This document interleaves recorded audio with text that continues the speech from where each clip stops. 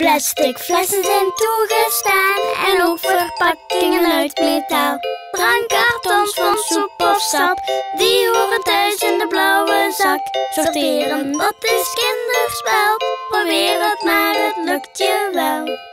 PMD staat voor plastic flessen en flacons, metalen verpakkingen en drankkartons. PMD sorteren. Eigenlijk is het kinderspel.